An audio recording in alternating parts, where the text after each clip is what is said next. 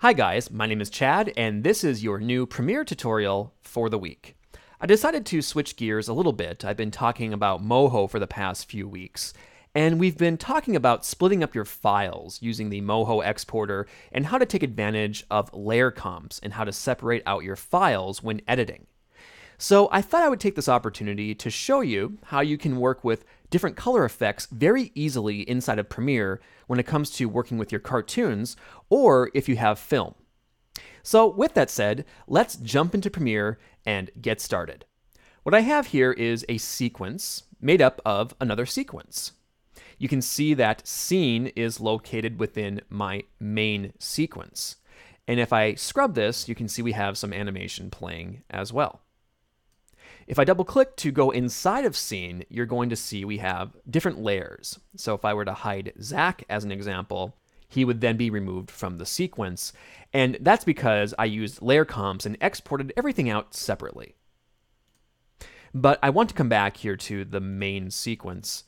And if you look at the top, you'll see we have some tabs, assembly, editing, and of course color. And that's the one I'm on right now. And that's the one that I would like you to select if you're following along. Here on the right side, you'll see we have different categories that we can choose from. If I were to click on basic correction as an example, it's going to drop down a bunch of different options. And basically, we can quickly come in and make changes to the colors of the sequence, the layer, whatever you are working on at that time. So I could come in and we could even use a LUT Click the drop down menu, we can browse for different LUTs, or I could choose one from the list if I wish. So I could click on one, and you can see it alters the way the film looks right away.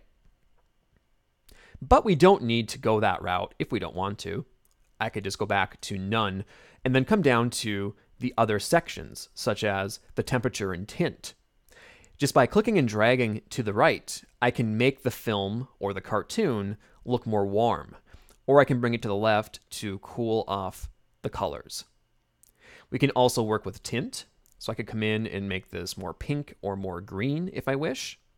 And you can mix and match, so we could bring the tint up, and then we could bring the colors down to be a little bit more cooler. Yeah, let's go a little bit more cooler like that. And then for your tone, you can adjust the exposure, the contrast. So I could add more contrast to this if I wanted to. Let's bring that up. And then we could adjust the highlights as well. Maybe bring those down a little bit. Bring the shadows down. Maybe keep the whites at about where they're at. And then for the blacks, we can just kind of come in and fiddle with that a little bit. So I would say about like this. Obviously changes the look of the cartoon as we initially saw it. Now, when you're playing with all these options, you can always reset at the bottom you can come up here to the top as well where it says basic correction and check this off. And when you do this, you'll see what it originally looked like before you applied those changes. But if you check it back on, it'll keep those changes and you can then revisit the color options. And you can always come down here and, as I said, click reset or even click auto. And this will automatically try to correct the film for you if you wish. So those are your basic correction options. You also have what are called creative options. You can come in here and choose from a variety of looks and also add different looks. So you can see we have quite a few here. And it works kind of similar to a LUT. So we could come in and let's just choose blue cold. And you can see it alters the way everything looks. In fact, it kind of reminds me of like an old NES game or something with those colors. But nostalgia aside, you can also come in we can adjust the intensity so we can make this even more obvious or less, just depending on what you want to do. You could then double up and add more effects. So we could apply a faded film effect if we want. We can sharpen the footage or blur it out even. We can change the vibrance, which just adds different color options, as well as the saturation, which allows you to saturate things. And as you can see, this is looking quite different from where we started. If I come up here and check off creative, you can see it looks like that compared to this. And then you have some other options down here. You can adjust your shadow tints and highlights using a wheel. And in fact, this wheel setup is very similar to SpeedGrade. It's like you're having a little piece of speed SpeedGrade now inside of Premiere.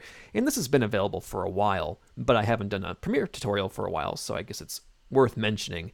But you can come in here and just drag around and adjust your tints that way if you wish, as well as adjust the balance on the bottom.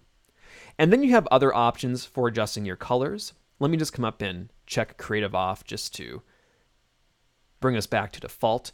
But we can come in and adjust the curves. So you can choose white, red, green, or blue. If we choose green, we can come in and adjust the greens based on the points we add here to this graph. So I could come in, we could do Bezier effects, and you can see as I'm doing this, we can really alter the way the greens look. They start low, go high, and all that stuff.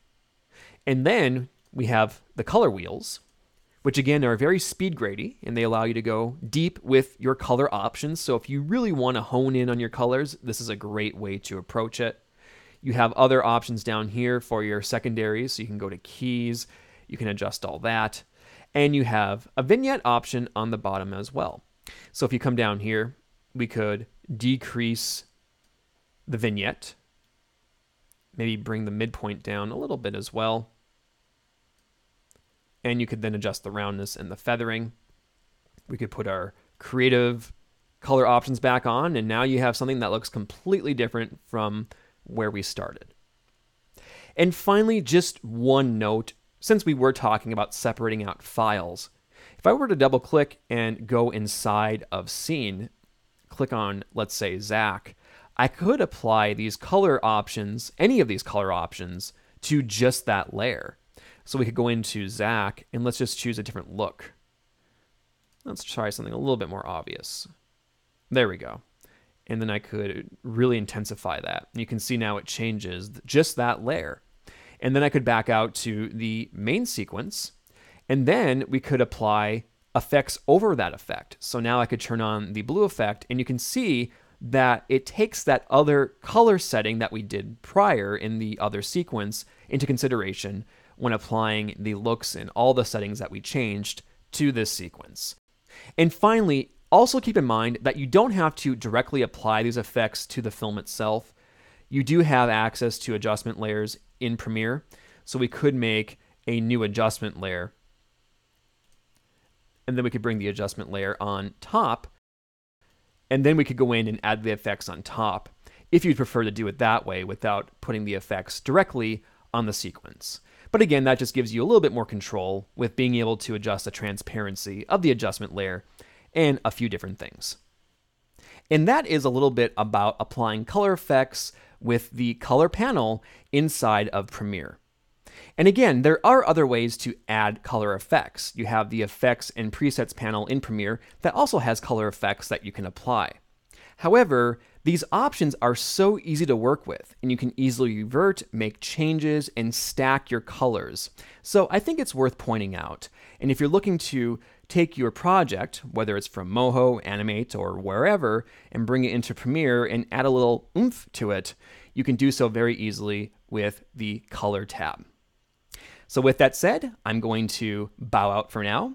Thanks for watching. If you have more suggestions for tutorials, feel free to leave them in the comments, and I'll see you next week.